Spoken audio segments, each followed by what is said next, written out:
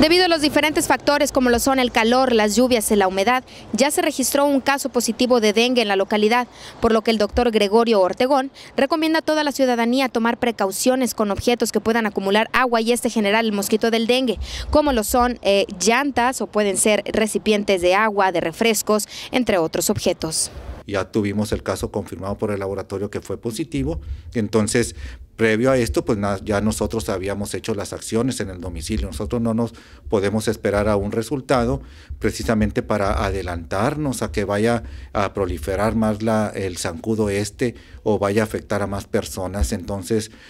se están poniendo ovitrampas en, puntos estratégicos de la ciudad, en donde nosotros por el medio de estas ovitrampas, nosotros vemos cómo se está manejando el zancudo, dónde hay más zancudo, dónde hay más proliferación de zancudo, para hacer las acciones de fumigación adecuadamente, aunado a que estamos haciendo aparte también los cercos de todos aquellos eh, pacientes que tengamos como sospechosos. Un alto por ciento de efectividad de erradicar este problema de la proliferación del zancudo somos nosotros mismos. ¿Por qué? Hay que tener limpios nuestras casas, nuestros patios de todos los cacharros y más en esta temporada de lluvias, como bien dice usted, en donde tenemos en nuestro patio muchos... Eh, eh, almacenamos muchas cosas que pudiera ser que almacenen agua que tengamos el que en una simple corcholata que tengamos en nuestro domicilio, una lata, una botella, por eso es importante que tomamos conciencia cada uno de nosotros, que limpiemos nuestras casas, nuestros hogares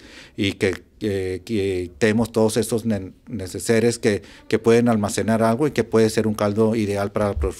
proliferación del zancudo. Estamos siempre en la mejor disposición de atender cada una de las personas que así lo requieren en todas nuestras unidades médicas, aquí también en nuestra, en nuestra jurisdicción, aquí en la, en la colonia JL Longoria, aquí en La Fe, también estamos a su mejor disposición. Con imágenes de José Vázquez para Líder TV, Gaby Romo.